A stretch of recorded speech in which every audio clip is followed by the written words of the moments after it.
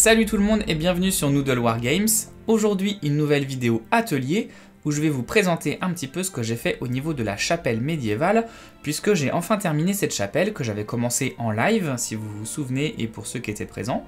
Et du coup, bah, je l'ai terminé, et j'ai même ajouté des petits meubles à l'intérieur, donc on va pouvoir voir un petit peu ce que ça donne. Je voulais en faire une vidéo euh, spéciale, parce que c'est quand même un gros bâtiment que j'ai fait euh, tout seul, en fait, sans impression 3D, vraiment euh, from scratch, en fait, à partir de carton et de, et de pâte auto-durcissante. Donc c'est quand même un, gros morceau de ma collection, donc ça méritait bien une petite vidéo. C'est parti alors voilà ce que ça donne sur un plateau de jeu. Alors j'ai mis un petit décor en fond, j'ai mis un petit plateau histoire que ça soit un petit peu plus agréable à regarder. Et puis ça vous met un petit peu le décor dans un contexte en fait de, plateau de jeu. Donc c'est pas plus mal, voilà, ça, fait partie du, truc. Donc voilà, cette, cette, petite, cette petite chapelle. Alors comme je vous l'avais déjà présenté, elle est toujours séparée en trois morceaux. La toiture d'un côté, les murs de l'autre, et ici le plateau. Le plateau avec des petits meubles, que je vous présenterai ça tout à l'heure. Que je vous présenterai tout à l'heure. Mais là voilà, ça donne ça euh, au niveau du plateau. Donc je l'ai peint. Je l'ai peint, je l'ai texturé. Alors vous voyez que ça donne euh, un, aspect bois ici en fait sur toute cette surface. Euh, on peut très bien en faire euh, effectivement un, endroit pour, euh, je sais pas, une place de marché par exemple, hein, ça, peut être, ça peut être pas mal. On peut en faire vraiment pas mal de choses, donc donc c'est plutôt cool. C'est pas forcément lié à la chapelle, on peut vraiment en faire un décor à part. Et puis si je vous montre un petit peu ici, eh bien j'ai fait des petits jardinets, des petits jardinets comme on pouvait voir par exemple dans les abbayes ou dans les monastères, vous savez ces fameux euh, jardins médicinaux euh, qui permettent de, cultiver un petit peu de plantes médicinales comme ça. Eh bien j'avais envie de le reproduire sur, euh, cette chapelle. j'ai mis un petit buisson ici avec les fameux buissons de chez Green Stuff World qui sont vraiment absolument magnifiques et qui rendent très bien. Et puis on a toujours cette petite montée ici avec quelques marches pour accéder à la plateforme. Voilà. Donc euh, plutôt classique, mais euh, qui permet d'avoir une assise assez, assez jolie.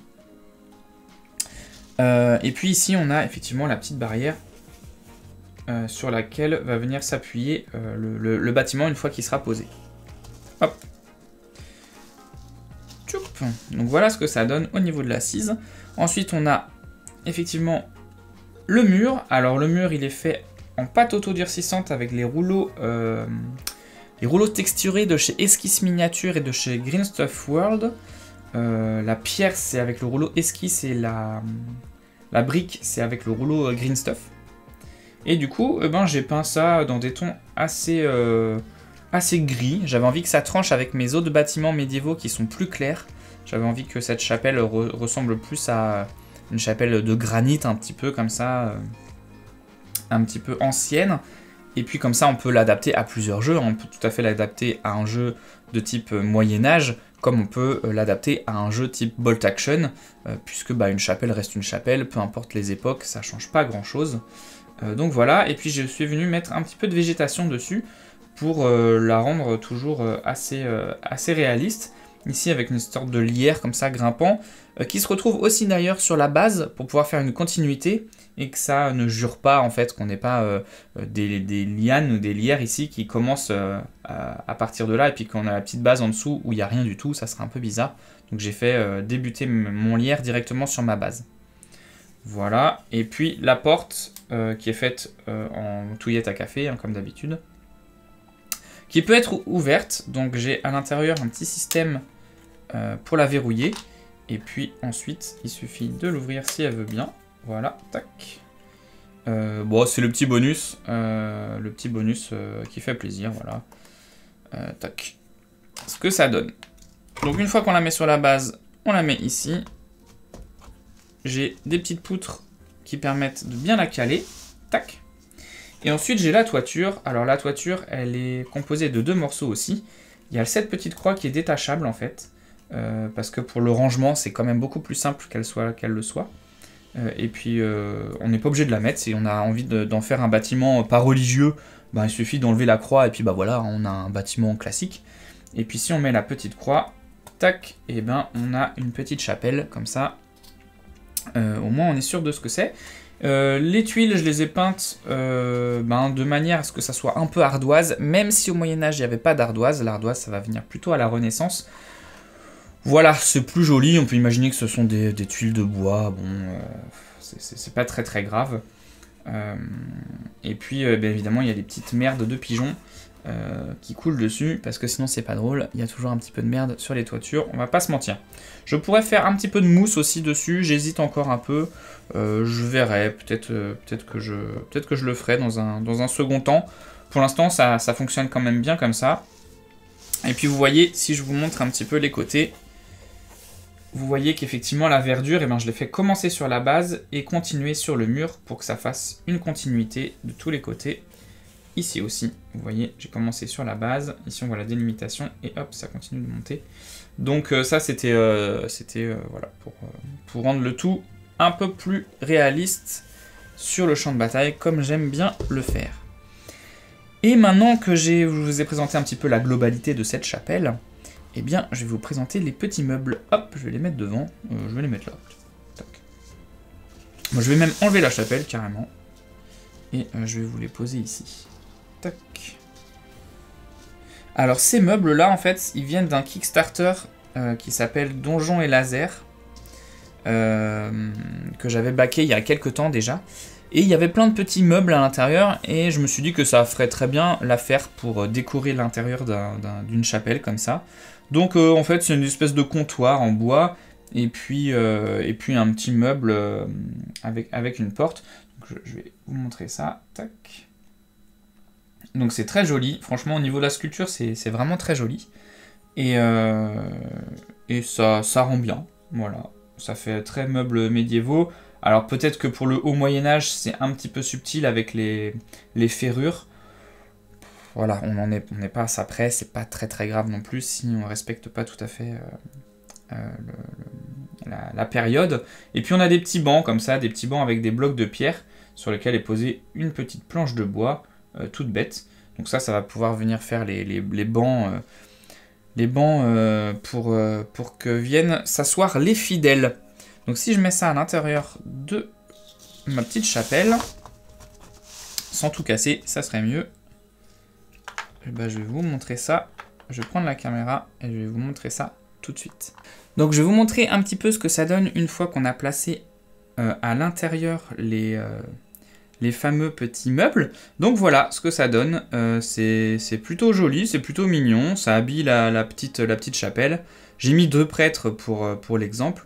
Mais euh, voilà, donc ça, peut, ça peut venir aménager un petit peu la, pièce pour soit faire de jolies photos, comme j'aime bien faire, soit bah, simplement rajouter des, barrières, des barricades pour, pour de la baston, pourquoi pas.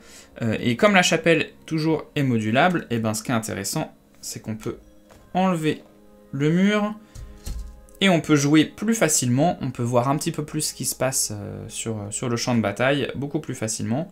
Et, euh, comme ça on peut être plus libre de ses mouvements pour déplacer ses figurines et puis euh, venir faire la bagarre. Donc voilà, c'est une petite chapelle que je trouve plutôt cool. Ça m'a mis... Enfin, j'ai mis un petit peu de temps quand même à la faire, faut, faut le reconnaître. C'est assez long, euh, assez chronophage de, tout faire soi-même. Effectivement, euh, j'ai pu expérimenter l'impression 3D. Euh, vous avez pu le voir avec notamment la partie avec l'assaut du, fort normand. J'ai pu expérimenter l'impression 3D là-dessus. alors c'est pas mon imprimante parce que j'ai pas la place à la maison, mais je l'ai fait imprimer. Et c'est vrai que bah on gagne beaucoup de temps quoi. Je veux dire, soit on l'imprime soi-même, soit on l'achète, mais je veux dire on a un truc splendide, euh, en, quantité illimitée. Enfin, vraiment, c'est sûr que l'impression 3D révolutionne le hobby, ça c'est clair. Euh, mais moi, j'aime bien aussi travailler les matériaux. Puis quand on n'a pas la place chez soi d'accueillir une imprimante 3D, ben, c'est toujours intéressant de pouvoir faire des choses euh, de ses propres mains avec des matériaux de récupération un petit peu. Hein. Parce que là, qu'est-ce qu'on a? On a de la feuille un petit peu cartonnée pour les tuiles, on a du carton de calendrier, on a des touillettes à café, euh, et puis on a euh, de la pâte auto-durcissante de chez Action. Donc en vrai, dans cette euh, petite chapelle, on n'a pas grand-chose en termes de, en termes de coûts financiers. Là, il y en a peut-être pour, je sais pas, 4 euros, 3 euros. 3 euros si on compte le flocage, tout ça, peut-être peut-être 3 euros maximum. donc voilà, c'est sûr que c'est pas très cher. Je pense que même l'impression 3D est peut-être plus chère que ça. Si on voulait un bâtiment, je veux dire, de cette taille, avec euh, tous, ces, détails, euh, tous les meubles, etc. à l'intérieur. Euh, bon, je pense qu'on en aurait pour peut-être un peu plus de 3 euros. Voilà, donc les matériaux de récup, c'est toujours cool. et puis ça fonctionne quand même bien. Donc, donc voilà, je suis fier de cette petite, petite chapelle. Maintenant, il faut que je trouve la place pour la ranger parce que ça commence à être vraiment très serré. Euh, donc pour l'instant, elle est même pas rangée dans une boîte, elle est sur une étagère parce que j'ai pas, pas de, de place dans des boîtes disponibles pour la, pour ranger pour l'instant. Euh, donc voilà, mais en tout cas, elle est là et euh, je pense qu'elle fera très bien sur un champ de bataille très prochainement. J'espère courant du mois de mars ou peut-être courant du mois d'avril faire une partie au club avec cette jolie petite chapelle. Voilà. Bah écoutez, c'est tout, j'avais envie de vous la présenter. Euh, on se retrouve bientôt pour une nouvelle vidéo où je vais vous parler un petit peu de l'actualité de pillage puisqu'il y a pas mal de choses à dire là-dessus, vous faire un petit peu un topo de, du bouquin, euh, qu'est-ce qu'il y aura dedans, combien il y aura de pages, euh, combien il coûtera le livre, quand est-ce que démarrera la campagne de financement, faire un petit peu comme ça un petit, un petit récap, et puis euh, et puis voilà, j'espère aussi pouvoir tourner un rapport de bataille avec ma chère et tendre pour une deuxième partie euh, à la maison, ça serait, ça serait cool.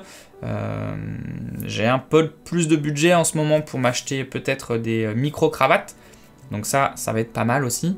Et puis, et puis voilà, en tout cas, eh ben, écoutez, prenez soin de vous, et puis on se retrouve pour une prochaine vidéo. voilà, tchou